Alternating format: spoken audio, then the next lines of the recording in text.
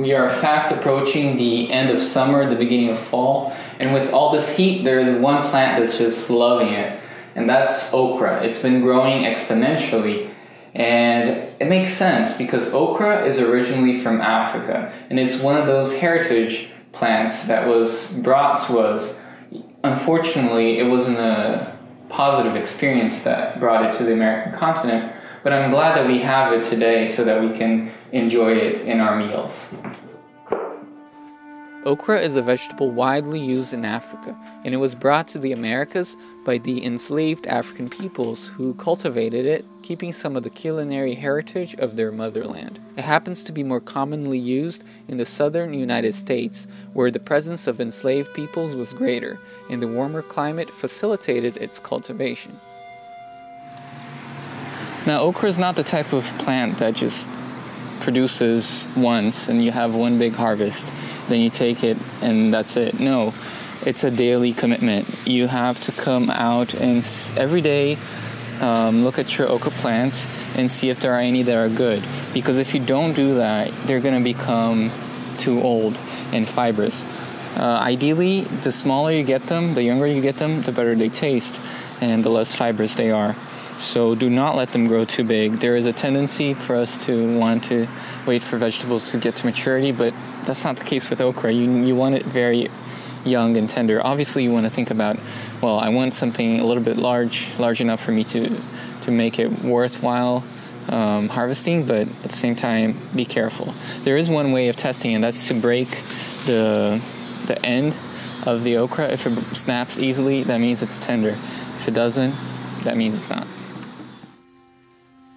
I picked up on this trick early on in life when I was a child in Brazil. It was a common sight to see people testing the okra pods as they picked it in the fresh produce markets, carefully snapping the tips one by one, making sure each pod was tender before bagging it. This made selecting okra a bit more time consuming than, say, picking tomatoes.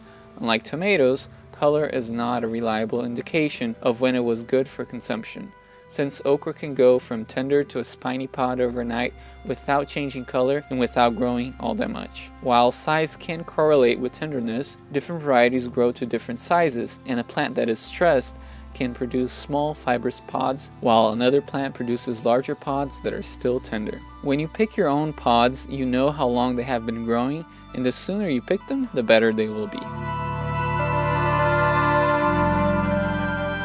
Since the okra plant produces about a pod every day or two, that means that it's a good idea for you to go out, gather your pods daily, and set them aside until you have enough to cook a meal. Or you can plant as many plants as you would like pods for a certain meal. So let's say you want to make meals that are around 30 pods, you plant 30 plants. I didn't plant that many, but um, it's enough for what I want to do. And for a recipe, you usually need about six, seven, eight per person, depending on how much people like okra. That is a good rule of thumb to remember. I ended up having about 8 to 10 plants producing in my enclosed garden bed. That meant about 8 pods every day or so. Once you pick it, you can refrigerate it up to a week. That way you can collect more pods if you are thinking of doing a bigger dish of okra. One of the best ways to enjoy okra is by cooking it as a stir fry. This is how Brazilians usually eat them. First, I cut up the okra pods into thin slices, discarding the nub in the end. That part is too tough and woody to be edible. Okra is naturally mucilaginous. Some people don't mind, and others hate that. If you don't want it to become very gooey, don't add water. Let them air dry a bit, and remember that oil and acid will help cut out the goo. If the dawn break is near, but the skies close in fear,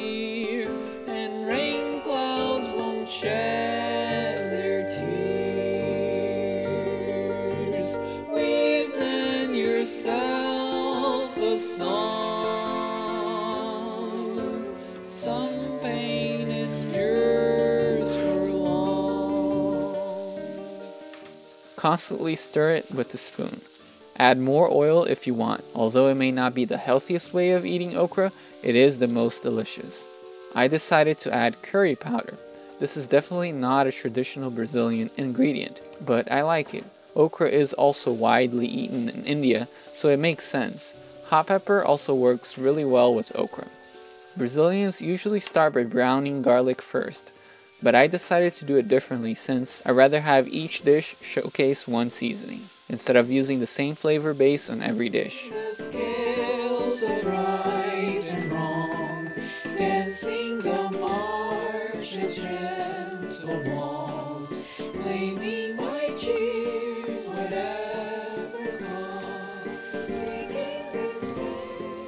Don't add salt in the beginning.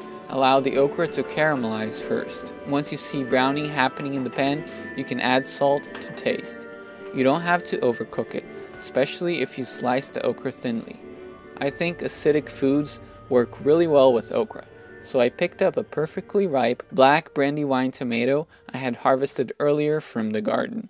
I wanted to use it as a complementary pair to the okra. Brandywine tomatoes are naturally rich in flavor and have perfectly balanced acidity. After cleaning it up, I decided to cut it into thin slices. I wanted to make a more creative tomato salad that would highlight the brandywine's superior taste and celebrate the fresh garden grown okra.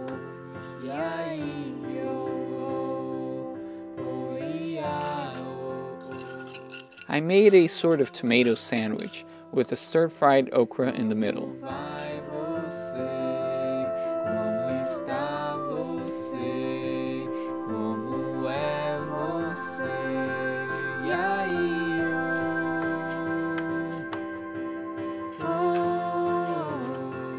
To garnish and flavor it, I julienned a couple of basil leaves and drizzled extra virgin olive oil over the dish.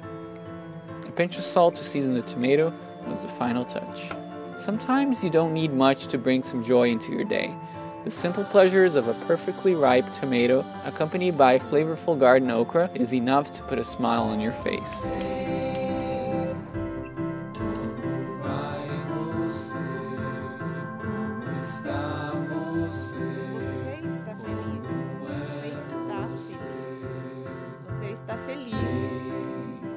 Feliz? In the next block, I'll share what happened to the okra later in the year and how I saved seed for the next year right after this commercial.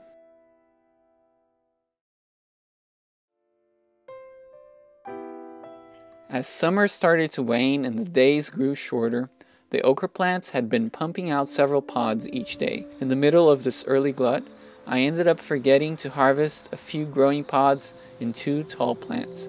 In just a matter of days, they were too tough to be eaten. You must keep vigilant if you want your okra to maximize production, because as soon as you forget to harvest a pod, the plant starts to put all its energy into seed developing, and soon the plant stops producing new tender pods. Since I wanted to plant more okra next year, and okra seed is relatively expensive due to its larger size, I decided to allow these pods to mature for the rest of the season so I could harvest the seeds come winter time. Around the end of the summer, I noticed that the okra was growing pretty fast, setting up a lot of pods, but I also knew that there wasn't going to be that many um, weeks of warm weather left for more to produce. So since I did want to save some seeds, I decided to let them stay on the plant and ripen so that I could collect the seed. It's important for the seeds of okra to stay on the plant as long as possible for them to be viable as seeds. Another reason why I did this is because okra seed is a bit expensive if you stop to think about because they're larger seeds compared to other plants like say lettuce and because they produce I think relatively less in an area than other plants seed wise they become more expensive seeds because of that, I feel like it's a good choice to save your own okra seed. Um, you'll probably have I'll probably have a lot of seeds, so I can actually sow liberally next year and not worry too much about germination. That's always a plus, so that then I can thin it out, and that saves me money in the long run.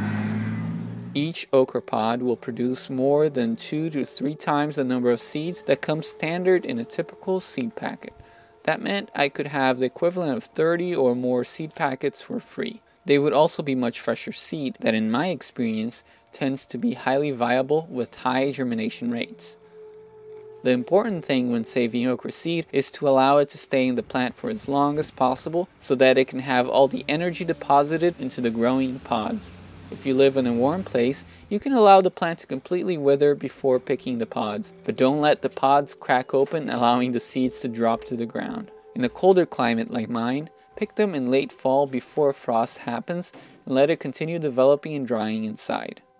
As long as the pods are very hard and fibrous and have started to change color, losing the earlier bright green, the seeds should be mature enough to produce new plants come next spring.